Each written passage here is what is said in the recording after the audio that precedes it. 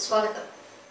ఈనాటి ముఖ్యాంశాలు ప్రతిపక్ష పార్టీల ఎమ్మెల్యేలు వైకాపా నాయకులు సమర్థవంతంగా ఏపీ అభివృద్ధికి పాటుపడుతున్న సీఎం చంద్రబాబు నాయుడు విమర్శించడం హాస్యాస్పదమని పుగులూరులో టీడీపీ జిల్లా అధ్యక్షుడు ఎమ్మెల్సీ గౌల్వాన్ శ్రీనివాసులు విమర్శ.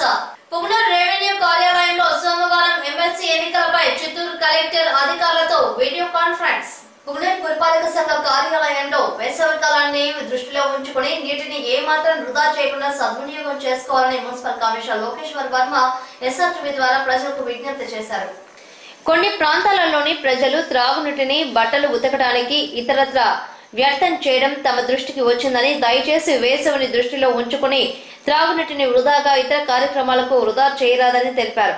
పురపాలక సంఘ పరిధిలో పేరుకుపోయిన నీటి పన్నులను వినియోగదారులు సక్రమంగా చెల్లించి నీటిని ఆదా చేయడం ద్వారా పట్టణంలోని మరెంతో మంది ప్రజలకు త్రాగునీరు అందించే సదుపాయం కలుగుతుందని ప్రజలకు కూడా విజ్ఞతతో కుళాయిలలో నీళ్ళు వస్తున్నాయని దుబారా చేయకూడదని తెలిపారు. నీటిని పొదుపుగా వాడుకోవడం వలన అందరికీ మేలు చేకూరుతుందని ఆయన ఈ సందర్భంగా తెలియజేశారు. కుంగునూరు పట్టణ ప్రజలకు విజ్ఞప్తి. వేసవి మన త్వరలో ప్రారంభం కానుంది. ఈ వేసవిలో నీటి ఎదురుని ఎదుర్కోవడం కోసం అనేక చర్యలు చేపట్టడం జరిగింది ఇప్పటికే. ప్రజలకు కూడా మనం ఎటువంటి సందర్భంలోనూ నీటి కొరత రానియకుండా మనం త్రాగునీరు సరఫరా చేయడానికి అన్ని చర్యలు తీసుకుంటున్నాం. గతంలో నీటి ట్యాంకర్లను వీధుల్లో పంపే ట్యాంకర్ల దగ్గర నీళ్ళు పట్టుకునే అలవాటు మన ప్రజలకు ఉండేది. అది లేకుండా గత సంవత్సర కాలంగా మనం ఈఎల్ఎస్ఆర్ నుంచి క్లోరినేషన్ చేసినటువంటి శుద్ధ జలాన్ని మంచినీటిని పైపుల ద్వారా ప్రజలందరికీ అందజేస్తున్నాం. చాలామంది ఈ నీటిని వృధా చేస్తున్నారు. నిన్న మొన్న కూడా కొన్ని చోట్ల నీళ్ళు ఇంట్లో ఉన్నటువంటి తొట్టి నిండిపోయి రోడ్లోకి వెళ్తూ ఉంటే కూడా కొంతమంది యువకులు చూసి దాన్ని వాట్సాప్ ద్వారా మనకు తెలియజేయడం జరిగింది. వెంటనే మున్సిపల్ సిబ్బందిని పంపించి ఆ వృధా నీటిని అరికెట్టడం జరిగింది. ప్రజలు కూడా దయచేసి ఆలోచించండి. నీటిని మనం ఎంత పొదుపుగా వాడుకుంటే మనకు అంత మంచిది. భావితరాల వారికి నీరు లేకుండా మొత్తం ఇప్పుడే వాటం కూడా ఇబ్బందికర పరిస్థితి కాబట్టి మీకు సరిపడినంత నీరు వచ్చిన తర్వాత మీ కుళాయిలను కూడా కట్టేసుకోవాల్సిందిగా ప్రార్థిస్తున్నాం నీటిని రోడ్ల మీద వృధాగా పోనీయకుండా ఉండవలసిందిగా కోరుతున్నాం. మార్చి పదిహేడవ తేదీ నుంచి పదో తరగతి పబ్లిక్ పరీక్షలు ప్రారంభం కానున్నాయి. అందులో ఎక్కువ మార్కులు సాధించే విద్యార్థులు భవిష్యత్తులో ఎంతగానో రాణించగలిగే అవకాశాలు ఉంటాయని అలాంటి కీలక పరీక్షల్లో ఉన్నతమైన మార్కులు ఎలా సాధించాలనే విషయంపై ఈ నెల పదహైదవ తేదీన గోకుల్ కళ్యాణ మండపంలో విద్యార్థుల ఎదుగుదలకు సంబంధించిన విషయాలు మార్గదర్శకాలు నిష్ణాతులైన ఉపాధ్యాయులతో సమావేశం నిర్వహిస్తున్నట్లు మున్సిపల్ కమిషనర్ లోకేశ్వర్ వర్మ ఎస్ఆర్టీవీకి తెలిపారు. స్థానిక మున్సిపాలిటీకి సంబంధించి మూడు ఉన్నత పాఠశాలలు ఉన్నాయని పదవ తరగతి విద్యార్థులు ఎలా పరీక్షలకు సన్నద్ధం కావాలి పాఠ్యాంశాలలోనే ముఖ్య విషయాలను ఎలా గుర్తుంచుకోవాలి పరీక్షల్లో ఎలాంటి భయాందోళనలకు గురి కాకుండా ప్రశ్నాపత్రాలను చక్కగా చదువుకొని జవాబులు ఎలా రాయాలి అనే విషయాలపై నిపుణులు ప్రసంగిస్తారని తెలిపారు. అలాగే పదో తరగతి పరీక్షలకు హాజరయ్యే విద్యార్థులకు ఉదయం సాయంత్రం ఆయా సబ్జెక్టుల ఉపాధ్యాయులచే ప్రత్యేక శిక్షణ ఏర్పాటు చేసినట్లు తెలిపారు. పిల్లల చదువు పట్ల తల్లిదండ్రులు కూడా బాధ్యత వహించి విద్యార్థులు చక్కగా చదువుకునే వాతావరణం కల్పించి వారిని ప్రోత్సహించాలని ఆయన తెలిపారు. పుంగనూరు మున్సిపల్ పరిధిలోని మూడు ఉన్నత పాఠశాలలో కూడా కొత్త ఇండ్లు మేల్పట్ల నాగపాలెం లేనాడు మున్సిపల్ పాఠశాల చదివే పదవ తరగతి విద్యార్థిని విద్యార్థులు రాబోయే సంవత్సరిక పరీక్షల్లో ఎలా పరీక్షలు రాయాలి ఏ ధైర్యంగా రాయాలి అన్న దానిపైన పిల్లలందరికీ కూడా అవగాహన సదస్సును బుధవారం ఉదయం అంటే పదిహేనో తారీఖు ఉదయం పది గంటలకు గోకుల్ కళ్యాణ మండపంలో ఏర్పాటు చేయడం జరిగింది. ఈ సదస్సు కోసం కళ్యాణ మండపాన్ని ఇచ్చినందుకు ముందుగా గూగుల్ కళ్యాణ మండప యాజమాన్యానికి కూడా ధన్యవాదాలు తెలియజేస్తున్నాం.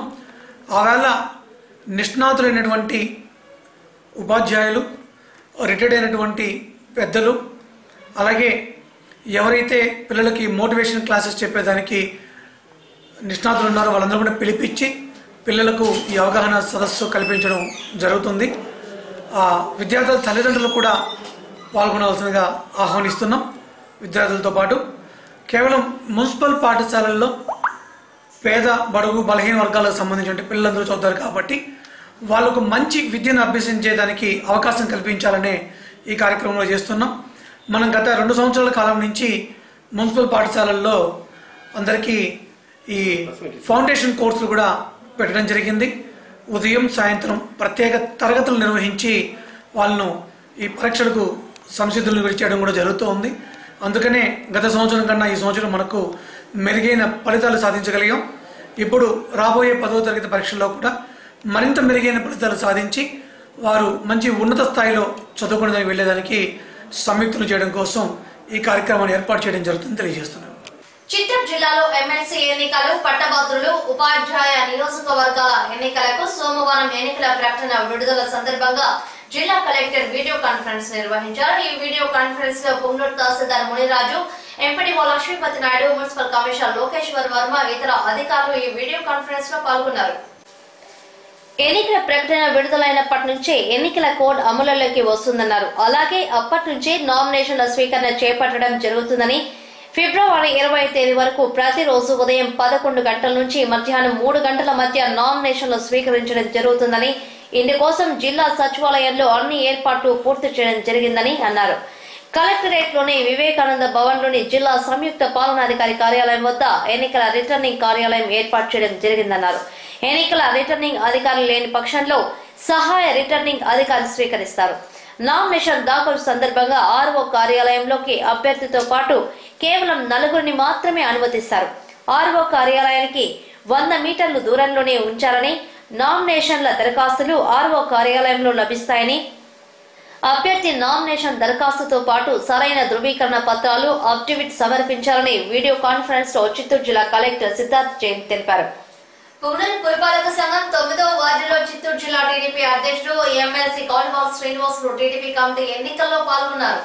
పూనూరు నియోజకవర్గ టీడీపీ ఇన్ఛార్జ్ వెంకటరమణరాజు ఈ సందర్భంగా ఎమ్మెల్సీ కాల్వాల్ శ్రీనివాసులు మాట్లాడుతూ ఏ ప్రభుత్వంలోనూ చేయని చేయలేని ప్రజా పథకాలు రాష్ట్ర అభివృద్ధి కార్యక్రమాలు ముఖ్యమంత్రి నారా చంద్రబాబు నాయుడు సజావుగా చేస్తుంటే ప్రతిపక్ష ఎమ్మెల్యేలు నాయకులు టీడీపీ ప్రభుత్వంపై బురద చల్లడానికి ఏదో అవాకులు చవాకులు ప్రేలుతుంటారని ఈ పద్ధతి సరైంది కాదని ఆయన విమర్శించారు. టీడీపీ సంస్థాగత ఎన్నికలు ఎంత సజావుగా క్రమశిక్షణాయుతంగా జరుగుతున్నాయో ప్రతిపక్ష పార్టీల వారు చూసి నేర్చుకోవాలన్నారు. రాష్ట్ర అభివృద్ధికి ప్రాజెక్టుల నిర్మాణానికి పరిశ్రమల ఏర్పాటుకు నూతన రాజధాని నిర్మాణానికి సీఎం అహర్నిశలు శ్రమిస్తుంటే లేనిపోని అపవాదులు అంటగట్టి అభివృద్ధికి ఆటంకం కలిగించే పార్టీ నాయకులు ఒక్కసారి ఆత్మ పరిశీలన చేసుకోవాలన్నారు. ఈ కార్యక్రమంలో టీడీపీ ఎన్నికల అబ్జర్వర్ రఫీ పట్టణ పార్టీ అధ్యక్షుడు ఖలీల్ అహ్మద్ నాయకులు కేశవమూర్తి మధుసూదన్ గుప్తా శ్రీకాంత్ అక్కిం రమేష్ దినేష్ మరియు టీడీపీ నాయకులు కార్యకర్తలు ప్రజలు పాల్గొన్నారు. అధ్యక్షులు ప్రధాన కార్యదర్శి కార్యదర్శి కార్యవర్గ సభ్యులు ఇద్దరు కోశాధికారి కార్యవర్గ సభ్యులు తొమ్మిది మంది. ఇందులో అధ్యక్షులు ఓసీ అయితే ప్రధాన కార్యదర్శి బీసీ ఉండల్లా. అధ్యక్షులు బీసీ అయితే ప్రధాన కార్యదర్శి ఓసీ ఉండల్లా. అధ్యక్షులు ఉపాధ్యక్షులు ప్రధాన కార్యదర్శి కోశాధికారి ఈ నలుగు నలుగురిలో ఒకరు మహిళ ఉండల్లా. తర్వాత ఈ కమిటీ కార్యవర్గంలో ఒక ఎస్సీ ఒక మహిళ కంపల్సరీ ఉండాల దీని ప్రకారము ఇప్పుడు అధ్యక్షులుగా ఎవరినన్నా మీరు ప్రపోజ్ చేస్తాం నలభై పర్సెంట్ తెలుగుదేశం పార్టీ సభ్యత్వం పుచ్చుకున్నటువంటి ముఖ్యులు గౌరవ పెద్దలకి యువ సోదరులకి మహిళలకి అందరికీ కూడా హృదయ నమస్కారాలు తెలియపరచుకుంటూ కూడా మన జాతీయ అధ్యక్షులు మరి యువ సోదరులు కానీ రాష్ట్ర అధ్యక్షులు కానీ మరి నారా గౌరవనీయులు నారా చంద్రబాబు నాయుడు గారు తెలియజేసిన ప్రకారం కూడా ప్రతి రెండు సంవత్సరాలకు ఒకసారి కూడా పారదర్శకంగా కూడా మన పార్టీ యొక్క గ్రామ కమిటీలు ఏర్పాటు చేసుకోవడము మరి మండల కమిటీలు ఏర్పాటు చేసుకోవడము జిల్లా కమిటీలు కావచ్చు మరి రాష్ట్ర కమిటీలు కావచ్చు ఇవన్నీ కూడా అంచెలంచెలుగా కూడా ఈ యొక్క తేదీల నిర్ణయం ప్రకారంగా కూడా మన పార్టీ జాతీయ అధ్యక్షులు ఇచ్చిన పిలుపు మేరకు కూడా ఈరోజు నియోజకవర్గం అంతటా కూడా ఈ యొక్క కార్యక్రమం తొమ్మిదో తారీఖు నుండి కూడా ఈ నెల ఇరవై ఎనిమిదో తారీఖు వరకు కూడా ప్రతి గ్రామంలో కూడా గ్రామ అధ్యక్షులు కార్యదర్శులు కమిటీ సభ్యులు అంటే అన్ని వర్గాలకు సంబంధించిన వారు. అక్కడ మహిళలు కావచ్చు తర్వాత బీసీలు ఎస్సీ ఎస్టీ సోదరులు మైనార్టీలు అందరికీ కూడా ఒక సమన్వయ తాటిపైన కూడా అక్కడ కమిటీని ఏర్పాటు చేసుకోవాల్సిన అవసరం ఉండదు. అందులో భాగంగానే నియోజకవర్గం అంతటా కూడా ఈ విధంగా ఈరోజు పుంగనూరు పట్టణంలో ఈ యొక్క కమిటీ తొమ్మిదవ వార్డులో కూడా ఈ యొక్క కమిటీ నిర్ణయించుకోవడం జరుగుతోంది. ఇదే విధంగా నియోజకవర్గం అంతటా కూడా జరిగే కార్యక్రమంలో భాగంగా కూడా ఈరోజు ఇక్కడ జరిగే సందర్భంలో ఇక్కడ మన గౌరవనీయులంటే అధ్యక్షులు కూడా ఇక్కడికి రావడం కూడా జరిగింది. ఇది ఎందుకంటే చాలా మటుకు ఎక్కడికక్కడ ఏ వార్డుకి ఆ వార్డులో ముఖ్యులు పార్టీ యొక్క అభిలాషతోన తర్వాత ఎన్నికల సందర్భంలో కావచ్చు ప్రభుత్వ సందర్భంగా వచ్చే కార్యక్రమాలు కావచ్చు ఈ అన్ని కార్యక్రమాలు కూడా ముఖ్యంగా పార్టీ యొక్క శ్రేయస్కరాని కోసము పార్టీ పటిష్టత కొరకు కూడా ఈ యొక్క కార్యక్రమంలో అధ్యక్షుల్ని కార్యదర్శుల్ని మెంబర్లను ఏర్పాటు చేసుకుంటే పార్టీని పటిష్టపరిచే భాగంగా కూడా మరి ప్రభుత్వ పరంగా ఏమైనా కార్యక్రమాలు వచ్చే కార్యక్రమాలు అన్నీ కూడా అక్కడ విపులంగా కూడా ఆ యొక్క వార్డులో కానీ గ్రామాల్లో కానీ పంచాయతీల్లో కానీ తెలియజేసే అవకాశం ఉంటుంది. అందరినీ కూడా మరి అక్కడ పొందుపరిచే విధంగా కూడా ఈరోజు ఈ కార్యక్రమంలో భాగంగా కూడా మీకు అందరికీ కూడా విపులంగా కూడా ఈ కార్యక్రమంలో భాగస్వాములై మీరు అధ్యక్షుడిని మరి కార్యదర్శిని మెంబర్లందరినీ ఎన్నుకోవాలని చెప్పని చెప్పిన ఈ సభాముఖంగా మీకు అందరికీ కూడా కోరుకుంటూ.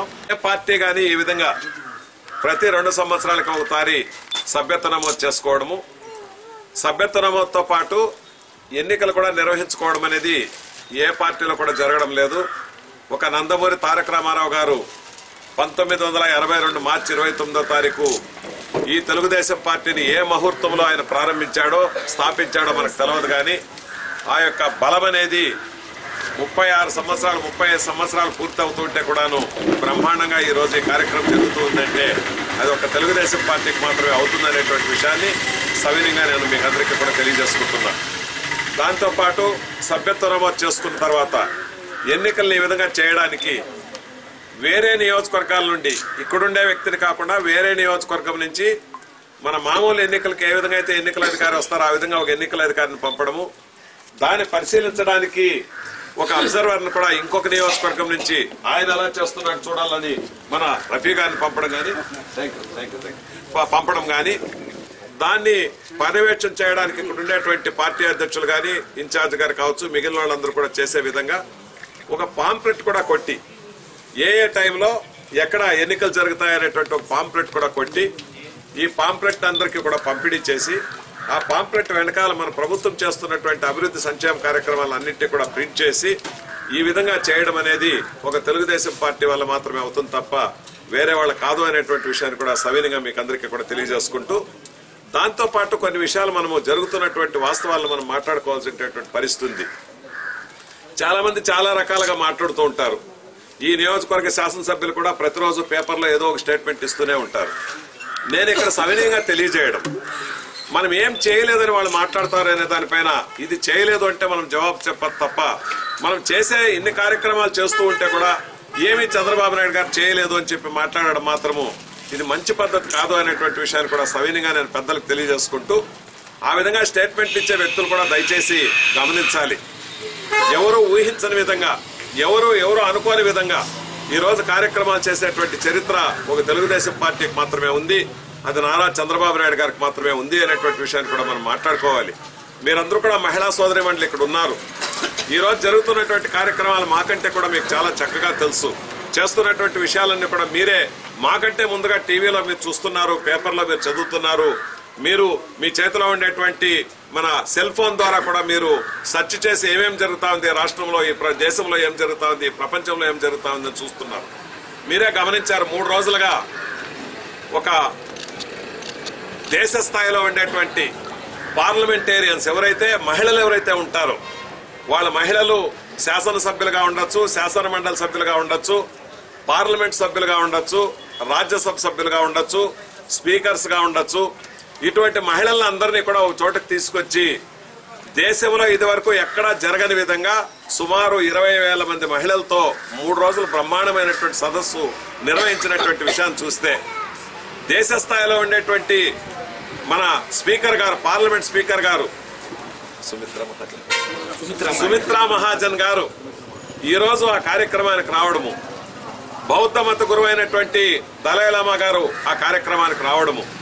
వాళ్ళందరూ కూడా రావడమే కాకుండా దేశ స్థాయిలో ఉండే పెద్ద పెద్ద ఇండస్ట్రియలిస్టులు అందరూ కూడా రావడము. ప్రపంచ స్థాయిలో ఉండేటువంటి మేటిగా ఉండేటువంటి మహిళలందరూ కూడా రావడము. వాళ్ళు ఆ కార్యక్రమంలో భాగస్వాములై వాళ్ళు మాట్లాడినటువంటి విషయాన్ని ఒకసారి గుర్తుకు తెచ్చుకుంటే దేశ స్థాయిలో చేయనటువంటి కార్యక్రమాన్ని ఒక విడిపోయినటువంటి రాష్ట్రం ఆంధ్రప్రదేశ్లో ఇటువంటి మంచి కార్యక్రమం చేస్తున్నారని వాళ్ళందరూ కూడాను కొనియాడుతూ ఉంటే ఆ కార్యక్రమాన్ని ఏ విధంగా అయినా ఆ కార్యక్రమంలో ఏదో ఒకటి మాట్లాడి ఆ కార్యక్రమాన్ని రసాబాస్ చేయాలనేటువంటి ఉద్దేశంతో ఇంకొక పార్టీ వాళ్ళు ఇంకొక విధంగా చేసుకున్నప్పుడు ఇంటెలిజెన్స్ రిపోర్ట్స్ అంతా కూడా చూసి దానివల్ల ప్రాబ్లమ్స్ వస్తుందని చెప్పి వాళ్ళని ఆ కార్యక్రమానికి రావద్దు అని చెప్తే దానిపైన రాద్ధాంతాలు చేయడం. ఏమో ఆమెని సమావేశానికి రాకుండా చేసేశారని ఉన్నారు రమ్మన్నారని వీళ్ళని వద్దన్నారని మాట్లాడడం. నేనేమంటానంటే మంచిని మంచిగా చూడండి చెడును చెడుగా మాట్లాడండి. మనం మంచి చేసినప్పుడు మంచి అనాలి తప్ప చెడు అని మాట్లాడే పరిస్థితి ఉండకూడదు. దయచేసి గమనించాలి. ఈ రోజు మన పక్కనే హంద్రీనివా కాలువను తీసుకొస్తున్నారు. ఆ హంద్రీనివా కాలువ వాళ్ళు కూడా మాట్లాడారు. పది సంవత్సరాల అధికారంలో చలాయించారు. నేను కాదని చెప్పడం లేదు. మా రాజశేఖర రెడ్డి గారు ప్రారంభించారు. దాన్ని మీరు చేస్తున్నారు పూర్తి చేస్తున్నారని మాట్లాడుతున్నారు. రాజశేఖర రెడ్డి కాదు హంద్రీనివా హంద్రీనివా కాలువను కావాలని చెప్పింది రాజశేఖర రెడ్డి గారు కాదు. పంతొమ్మిది వందల ఎనభై మూడులో ఈ రాష్ట్రానికి ముఖ్యమంత్రి అయినటువంటి నందమూరి తారక రామారావు గారు ఆ రోజు శివరామకృష్ణయ్య అనేటువంటి ఇంజనీర్ ద్వారా సర్వేలు చేయించి సర్వేలు చేయడమే కాకుండా ఎక్కడో ఉండేటువంటి శ్రీశైలం దగ్గర నుంచి నీళ్ళు మళ్ళించి కృష్ణానది జలాల్ని తెలుగంగ పథకం ద్వారా మా మద్- మన మద్రాసు రాష్ట్రానికి త్రాగునీరు వల్ల అనేటువంటి ఉద్దేశంతో చేపట్టినటువంటి కార్యక్రమం ద్వారా అటు నెల్లూరు జిల్లా కావచ్చు దానికి పైన ఉండేటువంటి కడప జిల్లా కావచ్చు కర్నూలు జిల్లా కావచ్చు వీటన్నిటి కూడా సస్యశ్యామలం చేస్తూ అదే విధంగా తిరుపతి కానీ శ్రీకాళహస్తి కానీ సత్యవేడి నియోజకవర్గాలు గుండా వెళ్ళే విధంగా చేస్తే నిన్న మొన్న రోజు నేను ఆ- ప్రాంతంలో ఉన్నా. అక్కడ పంటలు చూస్తూ ఉంటే ఆ కాలువలో నీళ్ళు పోతూ ఉంటే చూస్తే చాలా సంతోషమైంది. తెలుగంగ పథకం ద్వారా బ్రహ్మాండమైనటువంటి నీళ్ళు ఇచ్చినటువంటి చరిత్ర. ఆ రోజు నందమూరి తారక రామారావు గారిది. ఆ రోజే హంద్రీనివా సుజల సుజల సవంతి పథకానికి ఆ రోజే ఫౌండేషన్ వేయడం జరిగింది. ఆ రోజే సర్వే చేసి కుప్పం వరకు కూడా ఈ కాలువ ఎలా రావాలని చెప్పి అన్ని చోట్ల కూడా రాళ్ళు నాటి అన్నీ కూడా చేసినటువంటి పరిస్థితుల్లో ఆయన చేశారు. చేసిన తర్వాత ఆ కార్యక్రమాన్ని మేము చేస్తామని చెప్పి పది సంవత్సరాలు మీరు చేశారు. మీరు చేయలేదని మేము చెప్పడంలే. ఏ విధంగా చేశారు? మెత్తగా ఉండే చోటంతా లోడేశారు. వేలు వేలు లక్షల లక్షలు కోట్ల కోట్ల బిల్లులు తీసుకునేశారు. ఫారెస్ట్ ఏరియా అయితే సెంట్రల్లో వాళ్ళ గవర్నమెంట్ ఉంది స్టేట్లో వాళ్ళ గవర్నమెంట్ ఉంది. ఆడ ఫారెస్ట్ జోలికి పోలే. టన్నల్స్ కొట్టాలంటే టన్నల్స్ తవ్వాలంటే దాని జోలికి పోలే. గట్టిగా ఉంది కాబట్టి దాన్ని తవ్వే పనొద్దు అనుకున్నారు. అంటే గట్టిగా ఉండేదాని అటువంటి కార్యక్రమాలకు పోకుండా మెత్త మెత్తగా ఉండే కార్యక్రమాలు మాత్రం చేసేసి దాంతో జేసీబీలు పెట్టుకుంటే ఇమీడియట్గా వాళ్ళకి లక్షల కోట్ల రూపాయల ఆదాయం వచ్చే విధంగా చేసుకునేసి వదిలిపెట్టేసి వెళ్ళిపోయారు వాళ్ళు. పలాయనం చిత్తగించారు. ఈ రోజు చంద్రబాబు నాయుడు గారు ఆ యొక్క టన్నల్ నిర్మాణం దయచేసి మీరు మదనపల్లి దగ్గర ఎవరైనా వెళ్తే ఆ టన్నలపై చూస్తే మనం దాంతో నీళ్ళు వదిలిన తర్వాత మనం లోపలపై చూడలేం. నేను మహిళా సోదరి అందరినీ సవినీయంగా కోరుకుంటున్నా. ఇక్కడ ఉండేటువంటి పెద్దలందరూ కూడా సవినీయంగా కోరుకుంటా. నేను కూడా వెళ్ళి ఆ టన్నల్ చూసినప్పుడు ఇటువంటి టన్నల్ నిర్మాణము ఒక చంద్రబాబు నాయుడు వల్ల అవుతుంది తప్ప వేరే వాళ్ళు చేసేటువంటి పరిస్థితి లేదు అనేటువంటి విషయాన్ని ప్రజలందరూ కూడాను కొనియాడుతుంటే ఇవన్నీ వాళ్ళకి కనబడడం లేదు. చంద్రబాబు నాయుడు గారు వస్తే వర్షాలు పడేదంట అంటే పది సంవత్సరాలు వీడు పరిపాలన చేసినప్పుడు మొత్తం వర్షాలు పడిపోయినట్లు ఈ దేశమంతా సుభిక్షంగా ఉన్నట్లు ఈ రోజు వర్షాలు పడినట్లు వరుణదేవుడికి చంద్రబాబు నాయుడికి ఏమండి కారణం? ఏమి దానికి ఏమన్నా లింక్ ఉంటుందా? వరుణదేవుడు వద్దంటాడా చంద్రబాబు నాయుడు? వర్షం పడితే కదా ఆయన ఏమైనా వద్దంటాడా? చంద్రబాబు నాయుడు వచ్చినాడు కాబట్టి వర్షాలు రాలేదంట వాళ్ళు మాట్లాడడం. అంటే వీళ్ళు ఉనికిని కాపాడుకోవడానికి ఏదో ఒకటి చంద్రబాబు నాయుడు గారిపై నెపమేయాల. ఏదో విధంగా చేయాలనే ఉద్దేశంతో మాట్లాడుతున్నారు తప్ప వేరే విధంగా లేదు. ఏం జరిగిపోయిందని వాళ్ళు జన్మభూమి చేస్తారు. ఏం జరిగిపోయిందని చెప్పి గ్రామాల్లోకి వస్తారు. మీరు నిలదీయండి అంటారు. ఏం జరగలేదని నేను అడుగుతా. ఈ రోజు నలభై మూడు లక్షల పెన్షన్ గతంలో ఇస్తే ఈ రోజు మూడు లక్షల యాభై వేలు మళ్ళా ఇస్తే నలభై ఆరు లక్షల యాభై వేల మంది మహిళలకు కావచ్చు పురుషులకు కావచ్చు ఎవరైతే వయసు పైబడినారో ఎవరైతే వృద్ధులుగా ఉన్నారో ఎవరైతే వికలాంగులుగా ఉన్నారో వాళ్ళకందరికీ కూడా ఈ రోజు నెలకు ఐదు వందల రూపాయలు ఐదు ఐదు వేల ఐదు వందల కోట్ల రూపాయలు పెన్షన్ ఇవ్వడం లేదా అని చెప్పి నేను సవినీయంగా వాళ్ళని కోరుతున్నా. అదేవిధంగా ఇరవై ఐదు వేల వంద కోట్లు ఖర్చు పెట్టి ఈ యొక్క రైతులకు రుణమాఫీ చేయలేదని వాళ్ళని నేను సవినీయంగా ప్రశ్నిస్తున్నా. ఈరోజు ఏ కార్యక్రమం చేయలేదని వాళ్ళు మాట్లాడుతున్నారు? రాష్ట్రం రెండు ముక్కలైతే పదహారు వేల కోట్ల రూపాయలు మనం లోటు బడ్జెట్లో ఉన్నప్పటికీ కూడా ఈ రాష్ట్రాన్ని ప్రగతి పథంలో నడిపించడానికి హైదరాబాద్లో మన కార్యాలయాలు ఉంటే హైదరాబాద్ నుంచి పరిపాలన చేయలేము. మనం మనం మంచి రాజధాని నిర్మించుకోవాలని ముప్పై నాలుగు వేల ఎకరాల భూమిని అమరావతి సమీపంలో బ్రహ్మాండంగా ఉండేటువంటి భూముల్ని రైతులను ఒప్పించి మెప్పించి ఒక్క రూపాయి కూడా ఇవ్వకుండా మీకు డెవలప్ చేసిన తర్వాత ఇరవై ఐదు శాతం మీకు ఇస్తాం. మీ భూములు మాకు ఇవ్వండి అంటే ఒక నమ్మకంతో చంద్రబాబు నాయుడు గారికి ముప్పై నాలుగు వేల ఎకరాల భూమిని ఇచ్చారు. ముప్పై నాలుగు వేల ఎకరాల భూమి అక్కడ కొనాలంటే ఒక్కొక్క ఎకరా కోటి రూపాయల నుంచి రెండు కోట్ల వరకు ఉంటుంది. అంటే ఒక కోటి అయితే ముప్పై నాలుగు వేల కోట్లు. రెండు కోట్లు అయితే అరవై ఎనిమిది వేల కోట్లు. మనము అరవై ఎనిమిది వేల ముప్పై నాలుగు వేల కోట్లు పెట్టి కొనాలంటే మన దగ్గర డబ్బులు లేదు. అయినప్పటికీ రైతులందరూ కూడా ఒప్పుకొని ఈ రోజు బ్రహ్మాండంగా భూములు ఇచ్చినటువంటి పరిస్థితిని ఒకసారి గమనిస్తే ఆయన పైన నమ్మకం ప్రజలకందరికీ కూడా ఉంది. ఆయన బ్రహ్మాండంగా చేస్తాడనే నమ్మకం ఉంది కాబట్టి మీరు రకరకాలుగా మాట్లాడుకున్నారు. మా జగన్మోహన్ రెడ్డి ముఖ్యమంత్రి గారు అయిపోతారని చెప్పారు అనుకున్నారు. కలలు కన్నారు.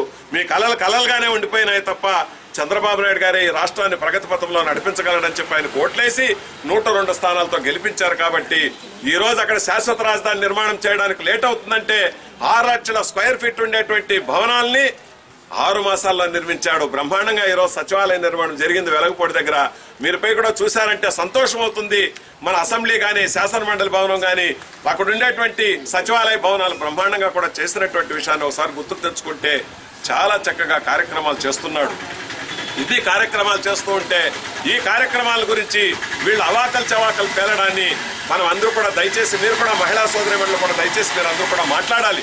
ఎవరైనా విధంగా మాట్లాడినప్పుడు మీరు కూడా వాళ్ళని నిలదీయాలి. ఏం జరగలేదని మీరు విధంగా మాట్లాడతారని మన పార్టీ కార్యకర్తలు మన పార్టీ కార్యకర్తలుగా మన పార్టీని ఎవరైనా మాట్లాడితే మనం టిట్ పార్ టాట్ అని జవాబు చెప్పాల్సినటువంటి పరిస్థితి ఉంది. జరుగుతుందో ఆ విషయాలు చెప్పాల్సినటువంటి పరిస్థితి ఉంది కాబట్టి ఈ సమావేశంలో ఇటువంటి విషయాలంతా కూడా మీకు తెలియజెప్పి మిమ్మల్ని కూడా చైతన్యవంతులు చేసి ఈ ఎన్నికను కూడాను నిర్వహించమని చెప్పి కూడా ఇక్కడ అబ్జర్వర్ను కానీ ఎన్నికల అధికారిని కూడా ఇక్కడ పంపడం జరిగింది కాబట్టి దయచేసి నా రిక్వెస్ట్ మీకు అందరికీ కూడా. ఒక తెలుగుదేశం పార్టీ మాత్రమే ఈ రాష్ట్రాన్ని ముందుకు తీసుకెళ్ళగలదు వీళ్ళు ఎన్ని మాట్లాడినా ఎన్ని చేసినా ఇంకొక ఆయన మాట్లాడతాడు మన ఎయిర్పోర్ట్లో. ఆయన్ని అక్కడ పోతే గొడవ చేయాలనుకుంటే నెక్స్ట్ డే వచ్చి బ్రహ్మాండమైనటువంటి ఇండస్ట్రీస్టులు దేశ స్థాయిలో ప్రపంచ స్థాయిలో ఉండే వాళ్ళందరూ వచ్చి విశాఖపట్నంలో సమావేశం పెడుతూ ఉంటే ఆ సమావేశం ముందు రోజు పోయి అక్కడ ఏదో గొడవ చేయాలనుకుంటే జగన్మోహన్ రెడ్డి గారిని ఆయన్ని ఎయిర్పోర్ట్లో దిగినప్పుడు మీరు అక్కడికి వచ్చి గొడవలు చేస్తారనే ఉద్దేశంతో ఆయన అక్కడనే నిలువరిస్తే ఆయన మాట్లాడతాడు నువ్వు ముఖ్యమంత్రి పైన చేయి చేసుకుంటున్నావు ముఖ్యమంత్రి నువ్వు ముడవాత నీకు ఓట్లేసే పరిస్థితి ఎవరు కానీ లేరు అప్పుడేదో నువ్వు ముఖ్యమంత్రి అయిపోయినట్లు అప్పుడే ముఖ్యమంత్రి అయిపోయినట్టు రెండు సంవత్సరాలకు ముందే రెండున్నర సంవత్సరం ముందే నువ్వు ముఖ్యమంత్రి పైన చేయి పెడుతున్నావని చెప్పి ఆఫీసర్లు మాట్లాడతారంటే వీళ్ళు ఏ విధంగా మాట్లాడుతున్నారనే విషయాన్ని కూడా దయచేసి మనం అందరూ కూడా మాట్లాడుకోవాలి. కాబట్టి ఈ విషయాలన్నీ కూడా మీకు తెలియజెప్పాలని. ఆ విధంగా చెప్పి మిమ్మల్ని చైతన్యవంతులు చేసి మీ ద్వారా ప్రభుత్వానికి మీరు బాసటగా ఉండాలనే ఉద్దేశంతోనే ఒక కమిటీ ఎన్నికలు కూడా చేయాలనే ఉద్దేశంతో ఇక్కడికి ఎన్నికల అధికారులు పంపారు. ఇక్కడ దయచేసి నా రిక్వెస్ట్ పత్రికా విలేకరులు కూడా ఉన్నారు. ఈ ఎన్నిక అనేది ఇక్కడ మనం ఏం మాట్లాడుకున్నా ఏం చేసుకున్నా కూడా డిక్లేర్ చేసే పరిస్థితి మాత్రం లేదు. ఇద్దరు కావాలంటే ఇద్దరు పేర్లు రాసి మేము పంపిస్తాం. ఒకరే ఏకాభిప్రాయం వస్తే ఒక పేరే రాసి పంపిస్తారు. ఒక పేరే పంపించినప్పటికి కూడా మళ్ళా మీకు అందరికీ వార్డులో ఎందరైతే మెంబర్లుగా ఉండారో వాళ్ళకి అందరికీ కూడా ఐవీఆర్ఎస్ వస్తుంది. ఐవీఆర్ఎస్లో అడుగుతారు వాళ్ళు. ఫర్ ఎగ్జాంపుల్ శ్రీనివాసులోని ఈ తొమ్మిదో వార్డుకి శ్రీనివాసులను అధ్యక్షుడిగా పెట్టాలంటే నేను జ- పేరు చెప్తున్నా. శ్రీనివాసులోని మీరు అంటారు. శ్రీనివాసులను రాసి ఎన్నికల అధికారి పంపితే కూడాను శ్రీనివాసులు మీకు అందరికీ కూడా అందుబాటులో ఉండగలడా అని మీకు మెసేజ్ వస్తుంది. ఏమొస్తుంది? వాయిస్ మెసేజ్ వస్తుంది. వాయిస్ మెసేజ్ వచ్చినప్పుడు మీరు ఆయన అందుబాటులో ఉండగలడు అంటే రెండు నొక్కండి. అందుబాటులో లేడు ఇంకొకరైతే బాగుంటుందంటే మీరు నాలుగు నొక్కండి అంటే మీరు అందరూ కానీ నాలుగు నొక్కారనుకో నా చాప్టర్ క్లోజ్. నా పేరు ఎన్ని తీసేస్తారు? అది కూడా చెప్తున్నాను నేను. కాబట్టి నేను ఎందుకు చెప్తున్నాను అంటే లోకేష్ బాబు గారి ఉద్దేశం చంద్రబాబు నాయుడు గారి ఉద్దేశం. ప్రజలకి చేరువుగా ఉండేవాళ్ళు ప్రజలతో మమేకమయ్యేవాళ్ళు ప్రజా సమస్యలు వినేవాళ్ళు ప్రజలకి మరింత ప్రభుత్వం చేస్తున్నటువంటి కార్యక్రమాలను తెచ్చి ఎవరైతే చేయగలుగుతారో వాళ్ళని మీరు అధ్యక్షులుగా పెట్టుకోండి అని చెప్పి చెప్పారు కాబట్టి ఇప్పుడు ఉన్నటువంటి అధ్యక్షులు బ్రహ్మాండంగా పనిచేస్తున్నారు. వాళ్ళనే కొనసాగమనండి. లేనప్పుడు మీరు కంటే వీళ్ళు ఉంటే బాగుంటుందండి మెరుగ వీళ్ళైతే బాగుంటుందని చెప్పి మీరు సూచన ఇవ్వండి తప్పులేదు. అట్లా చెప్పేదంత తప్పలేదు. అంత ఉన్నటువంటి వ్యక్తి శ్రీనివాస జిల్లా అధ్యక్షుడిగా ఉన్నాడు. నన్ను కాదని ఇంకొక వెంకటరామరాజును పెడతామంటే పార్టీ కూడా యోచన చేసే వెంకటరామరాజును పెట్టాలనుకుంటాం తప్ప శ్రీనివాసులు తీసేయాలనే ఉద్దేశాన్ని నేను మాట్లాడుకోకూడదు. కాబట్టి ఆ కోణంలో మనం యోచన చేయాలి. ఓకే పార్టీ ఏమి యోచన చేస్తుందో చూద్దామనేటువంటి యోచనలో పోవాలి తప్ప దాన్ని వేరే విధంగా మాట్లాడుకునే పరిస్థితి ఉండకుండా ఉండాలనేటువంటి ఉద్దేశాన్ని దయచేసి వేదిక పైన ఉన్నటువంటి పెద్దలకు అందరికీ కూడా సవినంగా తెలియజేసుకుంటూ ఆ కోణంలో మనం అందరూ కూడా కార్యక్రమాలు తీసుకెళ్ళాలని ఈ రోజు రాష్ట్రాన్ని ముందుకు నడిపించేటువంటి ఒక సత్తా ఒక చంద్రబాబు నాయుడు గారికి మాత్రమే ఉంది. చంద్రబాబు నాయుడు గారు మాత్రమే పరిపాలన ముందుకు చేయగలడు. బ్రహ్మాండమైనటువంటి మనకు కావాల్సిన కార్యక్రమాలు చేయగలరు. అదేవిధంగా ఇక్కడ మైనార్టీ సోదరులు కూడా చాలా మంది సోదరి కూడా ఉన్నారు. మైనార్టీల కొరకు కూడా ఈ రోజు కార్యక్రమాలు చేస్తున్నటువంటి విషయాన్ని కూడా దయచేసి మీరందరూ కూడా గుర్తించాలి. ఈ రోజు మైనార్టీ కార్పొరేషన్ పెట్టి మైనార్టీ కార్పొరేషన్ ద్వారా మీకు లోన్స్ ఇవ్వడమే కాకుండా దుల్హన్ పథకం ద్వారా ఎవరైనా బీద వాళ్ళు ఉంటే ఆడవాళ్ళు ఉంటే వాళ్ళకి పెళ్ళి చేయాలనుకుంటే ఆడపాపలకి తల్లిదండ్రులు బీదరికంలో ఉంటే వాళ్ళకి యాభై వేల రూపాయలు ఇచ్చే పథకం కా- కావచ్చు. అదేవిధంగా మీకు కావాల్సినటువంటి మైనార్టీలకు కావాల్సినటువంటి మసీదులు ఎక్కడైతే ఉన్నాయో ఆ మసీదుల్లో పనిచేసే వాళ్ళకు కూడా జీతభత్యాలు ఇచ్చే విధంగా చేయడం కాకుండా అదేవిధంగా ఎక్కడైనా మీకు కావాల్సినటువంటి ఆ మసీదుల నిర్మాణాలు కావచ్చు అదే విధంగా శ్మశాన వాటికలు కావచ్చు వీటికన్నిటికీ కాంపౌండ్ వాల్స్ అవన్నీ కట్టుకునే కార్యక్రమాలు కావచ్చు ఇవన్నీ కూడా చేయాలని మనమందరూ ఒకటే హిందువులు ముస్లింలు ఒకటే అని మహాత్మా గాంధీజీ గారు అన్నారు ఈశ్వరాల్లా తేరేనామని నామని. ఈశ్వర్ అల్లా తేరే ఈశ్వరు నీ పేరే అల్లాను నీ పేరే అన్నాడు ఆయన. ఆ మహాత్మా గాంధీ గారు చెప్పినటువంటి విషయాల్ని ఈరోజు చంద్రబాబు నాయుడు గారు కూడా అమలు పరుస్తున్నారు. ఆ విధంగా చేస్తున్నారు. అన్ని కులాలే ఒకటే అనుకున్నారు. సంక్రాంతి పండుగ అయితే సంక్రాంతి ఏమంటారు? సంక్రాంతి కానుక. ఓసారి తక్కని. సంక్రాంతి కానుక ఇస్తున్నారు రంజాన్ అయితే రంజాన్ తోఫా అంటున్నారు క్రిస్టియన్స్ కూడాను క్రిస్టియన్స్ వచ్చినప్పుడు క్రిస్టియన్స్ కూడా మీకు కూడా బహుమతి అంటున్నారు. అంటే మనము ఆ ఇచ్చేటువంటి ఒక మెటీరియల్ వల్లనే మనం ఏదో చేసుకుంటామని కాదు బీదరికంలో ఉన్నటువంటి వాళ్ళని ఆదుకోవాలని. అందరూ కూడాను పండగ పూట హ్యాపీగా ఉండాలనే ఉద్దేశంతోనే ముఖ్యమంత్రి గారు ఇటువంటి నిర్ణయాలన్నీ కూడా తీసుకొని చేస్తున్నారు కాబట్టి ఇవన్నీ కూడా మీకు తెలియజెప్పాలని మేము రావడం జరిగింది. ఈనాటి ముఖ్యాంశాలు ప్రతిపక్ష పార్టీల ఎమ్మెల్యేలు వైకాపా నాయకులు సమర్థవంతంగా ఏపీ అభివృద్ధికి పాటుపడుతున్న సీఎం చంద్రబాబు నాయుడు విమర్శించడం హాస్యాస్పదమని పుగులూరులో టీడీపీ జిల్లా అధ్యక్షుడు ఎమ్మెల్సీ గోల్వాన్ శ్రీనివాసులు విమర్శ. పుగులూరు రెవెన్యూ కార్యాలయంలో సోమవారం ఎమ్మెల్సీ ఎన్నికలపై చిత్తూరు కలెక్టర్ అధికారులతో వీడియో కాన్ఫరెన్స్. ఇవి ఈనాటి ఎస్ఆర్ టీవీ వార్తల్లోని ముఖ్యాంశాలు. మరిన్ని విశేషాలతో మళ్ళీ కలుస్తాం. అందరూ నమస్కారం.